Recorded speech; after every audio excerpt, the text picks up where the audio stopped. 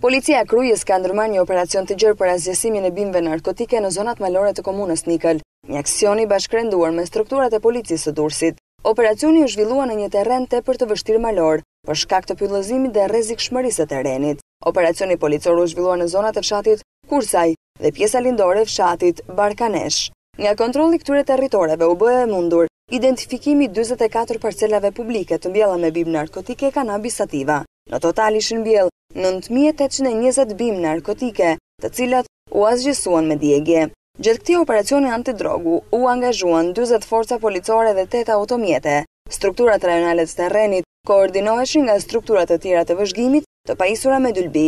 Oficerët e policisë gjyqësore dhe ekspertët kriminalistë, pjesë e operacionit, morën prova materiale që do të përdoren gjatë hetimit për identifikimin e autorëve të kultivimit të bimës narkotike. Ndërkohë në portin e Durrësit, policia kufitare sekuestroi rreth katërqind e njëzet kilogramë lëndë narkotike Cannabis sativa, në një kamion. Droga u kap rreth mesnatës ndërsa në pranga ka rënë shtetasi Fatmir Doja, dyzet e shtatë vjeç. Nga informacionet e policisë mësohet se sasia e madhe e drogës u kap në kamionin tip Iveco me targa AA treqind e tridhjetë e gjashtë JJ në pronësi të dyzet e shtatë vjeçarit të arrestuar, banues në Spille.